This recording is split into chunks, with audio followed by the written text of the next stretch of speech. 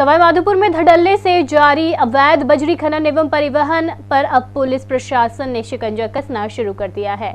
इस कड़ी में पुलिस प्रशासन व खनिज विभाग की टीम ने संयुक्त रूप से कार्रवाई करते हुए अवैध बजरी से भरे चार डम पर सात ट्रैक्टर ट्रोली व एक ट्रक जब्त किया।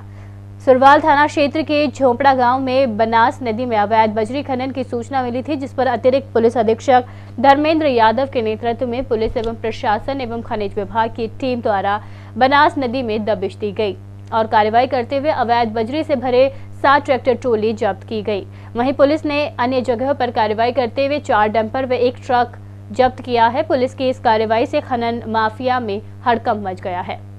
झोपड़ा गाँव जो कि सूरवाल थाना क्षेत्र में पड़ता है और बौली और चौथ का बरवाड़ा थाने की बाउंड्री से लगता है, वहाँ से बजरी खनन की लगातार शिकायतें आ रही थी। उस शिकायत पर कल रात को ही हमने चार डंपर जो वहाँ से बजरी का परिवहन कर रहे थे, उनको हमने बौली थाना क्षेत्र में जब्त किया है और उनके खिलाफ हम कानूनी कार्रवाई कर रहे हैं। उसके अलावा एक डंपर हमने मानटाउन थाना क्षेत्र में, जो कि बजरी उसी इलाके से लेके आ रहा था, उसको भी हमने जब्त किया है। उसके अलावा हमारी एक टीम जिसमें एडिशनल एसपी हेडक्वार्टर सभी एसडीएम साहिबान, जिसमें एसडीएम चौथ का बरवाड़ा और एसडीएम बौली, उसके अलावा चार थानाधिकारियों ने नदी क्षेत्र में, झोपड़ा गाँव में एक ज्वाइंट रेड की, जिसमें सात ट्रैक्टर बजरी से भरे हुए हमने जब्त किए हैं।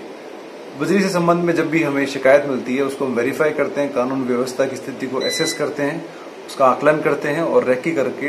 प्रॉपर तरीके से हम कार्रवाई